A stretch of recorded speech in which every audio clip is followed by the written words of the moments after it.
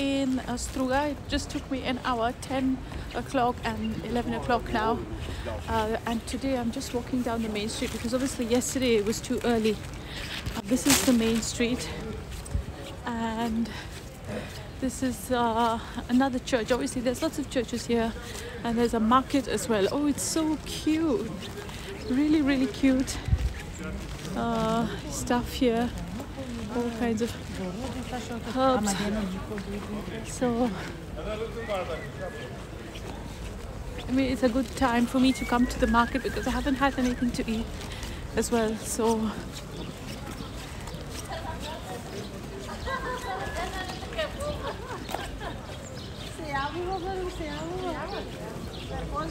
So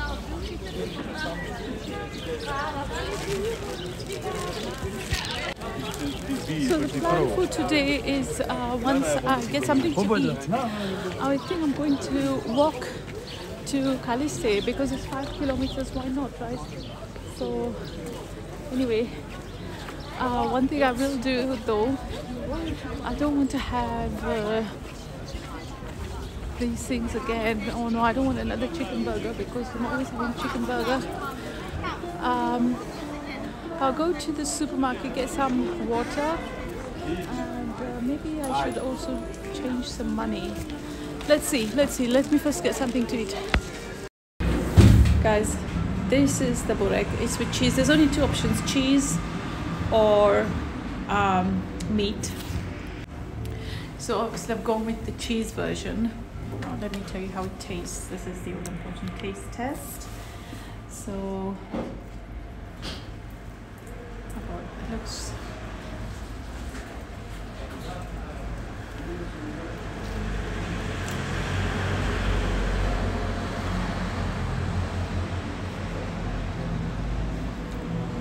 it's really comforting it's it's not fantastic it's good it's good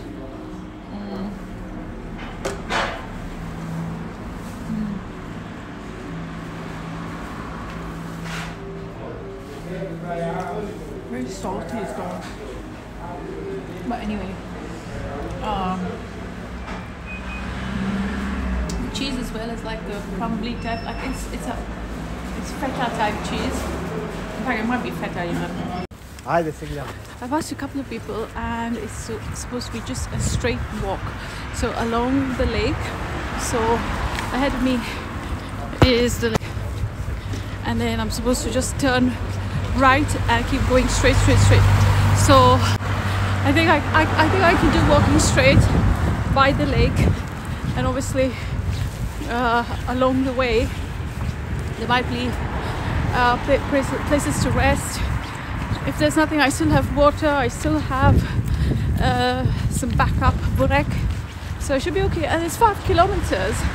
I mean, if it wasn't for the backpack, it's really not even that much of a difference. It's not even a big deal.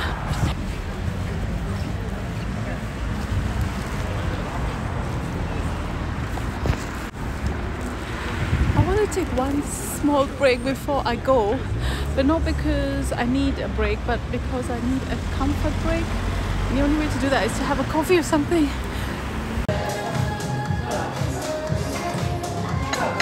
Thank you. I'm just having a coffee break mainly because I needed to use the restroom, so I've done that. And obviously, it's just not. Uh, I could have tried, but I just found it really embarrassing to come somewhere and just use the toilet. So I'm having coffee, uh, which will be good for me anyway. So it's just lake facing. Here outside seems to have some sort of glass house. So even even in the winter, there's lots and lots of people just sitting there, uh, coffee and smoking and. Um,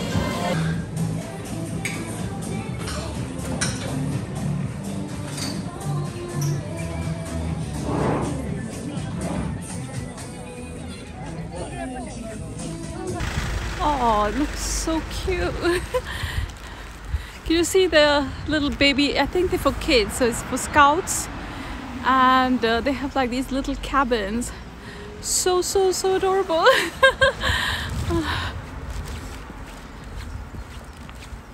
there's hotels all along the way. So I guess these are the ones where it's uh, slightly cheaper to stay here. There's quite a lot of stray dogs, even though they're not barking or anything.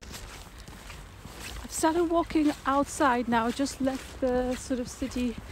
Uh, I mean, it still looks like uh, the town or the city or whatever, but we're going away. You can certainly feel that. this campsites, the traffic's reduced, and all I've got in front of me are the beautiful mountains. And yeah,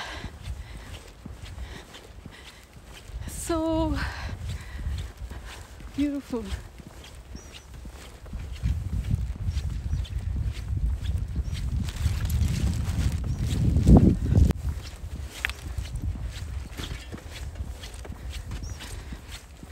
Wow, this is exactly the kind of thing I like to do.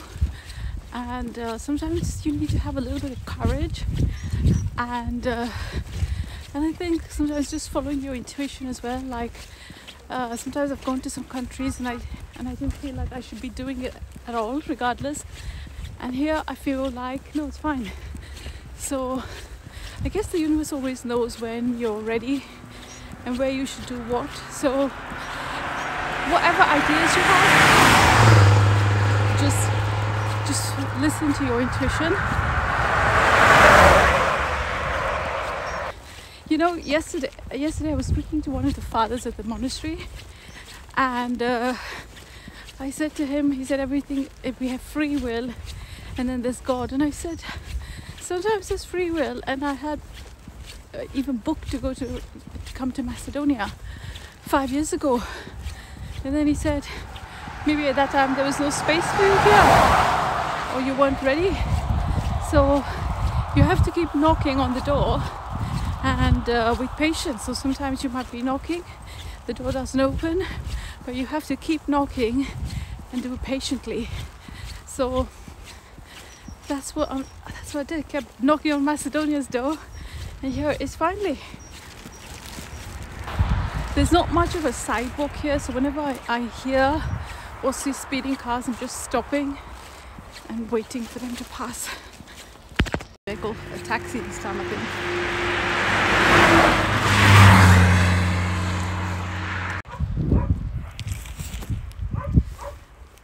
There's lots of villages along the way, so I'm just passing by one. I don't know if you can hear the dogs barking, but there's villages. And actually, just on that side, there's a walking path, and there's actually one person walking there. Cars passing or vehicles passing, so it's not too bad. But uh, yeah, that it's like proper countryside, I guess. And there, over there, is the path, and there's a person walking there actually. So,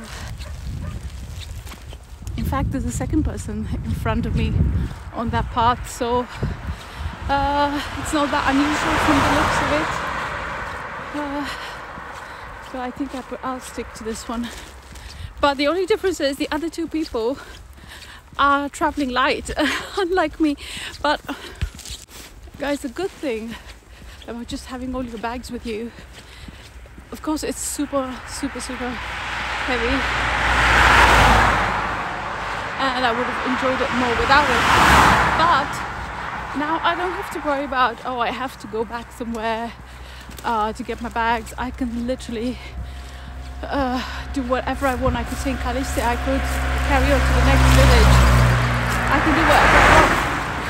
So I certainly have that freedom. Oh, see, it's such a busy path. There's so many vehicles coming.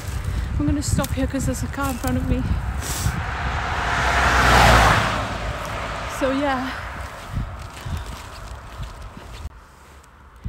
So much rubbish around. I don't know what's going on. Uh, I guess just rubbish and environmental issues are everyone's problem, really, isn't it? There seems to be some camping sites as well. The only place to feel like home. Camping Rhino, one kilometer. Okay. So guys, there are places to camp and it has free Wi-Fi as well. So yeah, so you're not too far away from anything really. It feels remote, but it's not that remote. So uh, for a novice like me, this is definitely uh, reassuring. There's a gentleman there cycling away. He's well, he's got life experience, you know. His little basket at the back, so any heavy load goes in there. There's something else here. A restaurant, a cafe, a cafe, and uh, just by the lake. Wow, what a view! Spectacular. There's nobody there. There was this private land, so I was tempted to go and sit. A little bench there. Uh, it's tempting, but obviously it's private property. The gate is closed, so I'll just carry on walking. There's a little pier and everything. So you can camp here as well. It's called Camping Lira or something. Yeah, cafe bar Lira camping. Oh look. So you can do it here, free Wi-Fi. Wow, it's a lovely, lovely, lovely place. Really nice place. Although I cannot see anyone here. Yeah.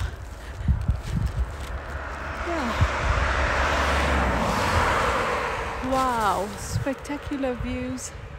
Great place to camp. Wow. Guys,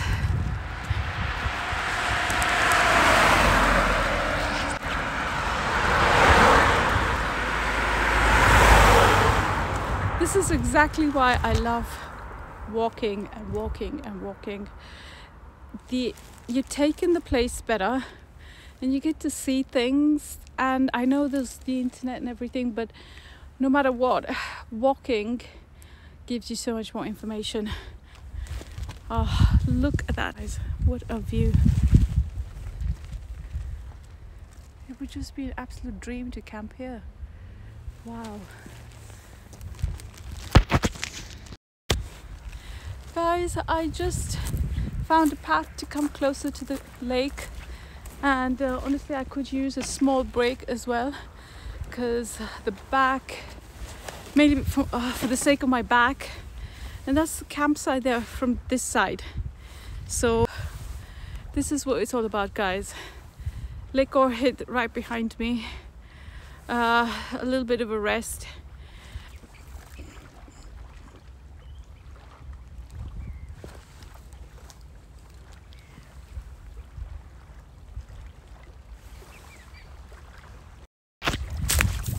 water is absolutely crystal clear you just see how clear the water is? Wow.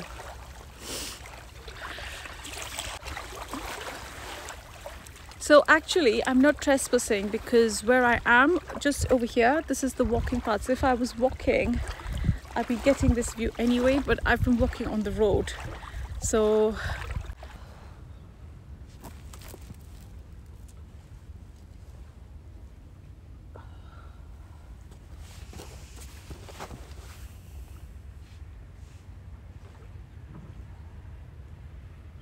think that uh, Struga and all these little villages around the lake are a lot nicer than um, uh, Ohrid. But obviously Ohrid is the big city, so it's easy to get there. Uh, but once you're there, I think do make the effort to come out because this is much more in its natural state. It's nature in its natural state because at it's a bit more built up, understandably so there's a lot more hotels and the whole area is sort of uh, you know there's parking there. There's all sorts of things happening all sorts of entertainment which is good uh, if you're a family and you're going there. But if like me you just want to sit here take in the lake no one to bother you this is it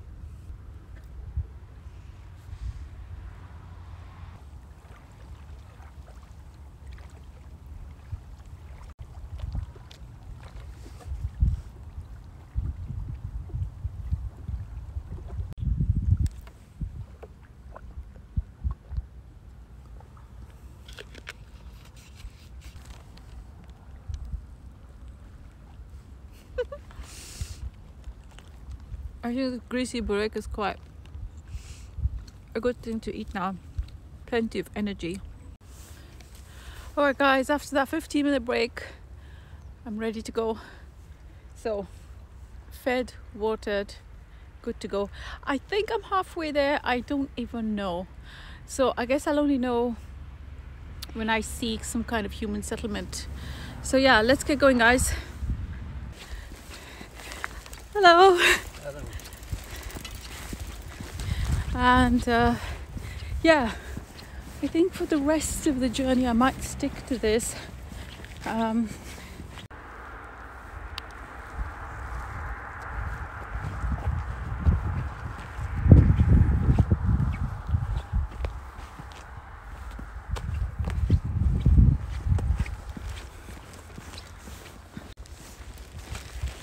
we're approaching some kind of settlement. It might be the start of Kaliste because I can see schools on, homes, electric poles, everything. So we must be there, almost there at least.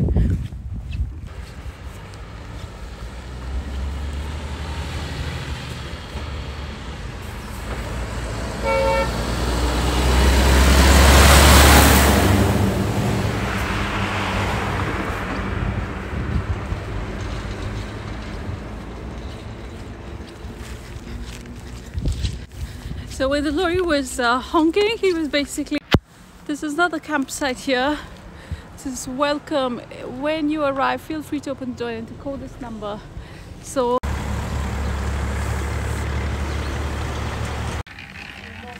So I've asked several people, and everyone says straight, straight, straight, which is good. so here we are. This, I believe, is I don't know. Oh, it's really beautiful the view. I do highly recommend this walk guys. It's fantastic. Highly recommend this type of walk. Do it if you can. Um, again even better if you can get a room or something say in Struga or somewhere like that and leave the bags behind. I think this is it. I think this is it. The, the monastery is open every day 8 a.m. till sunset. Yes. Yeah, the monastery of Holy Mother of God monastery. So up here is the little cemetery.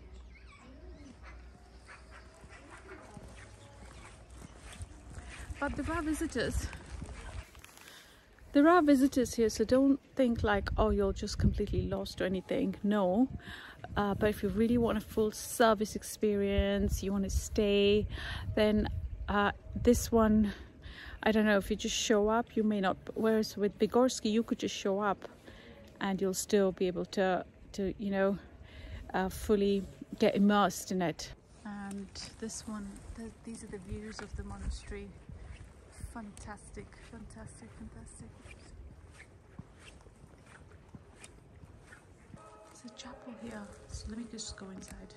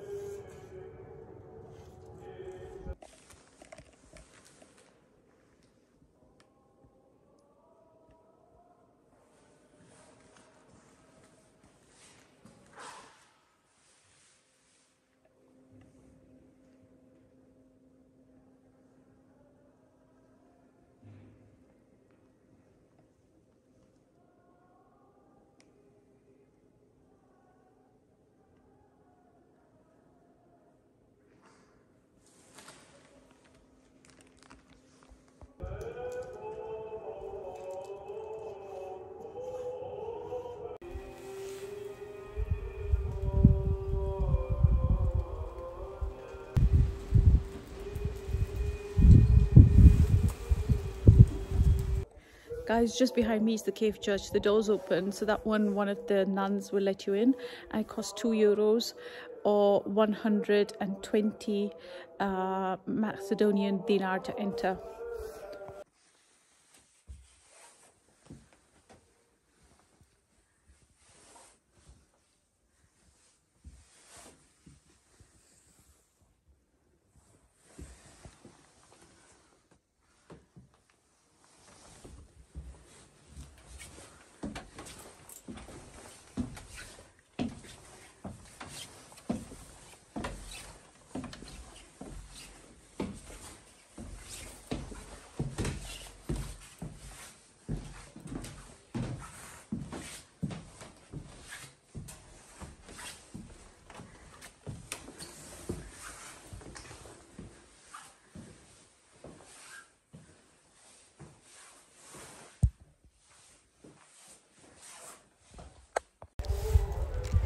guys, I just finished the tour of the cave uh, church. Really, really, really worth it. It was two euros, and one of the nuns or somebody here will open it for you. so quaint, so cute, and something there is a something magical over there. So please, if you come here, uh, just as you enter, you turn left, and it says here, uh, Cave Church. So look it says here cave church. It, it, says over here and it's right at the entrance so i finished this. So as soon as you enter you see the water to your left and the church is to your right. So that's the cave church. So that's the entrance right there. And then to, to this side is the lake and to this side is the cave church. And uh, honestly uh, this monastery as I said initially I thought oh I don't know like it's so quiet. I didn't find my way around but I'm really glad I walked it. I'm really glad I came here. It's just really really really fantastic. I think when I first got here I was so tired. I couldn't fully appreciate it but now that I've rested and I've walked around it's really nice. And even not just the cave chapel the other chapel as well. Very beautiful and uh, you can buy holy water and candles as well uh, so yes highly recommended. Please do come here. Fantastic fantastic. It's time for me to start making my way back to Struga now. So hopefully I will find um, somebody to take me back either a hitchhike or uh, uh, uh, or a taxi something. Anyway that's it guys I'm gonna start walking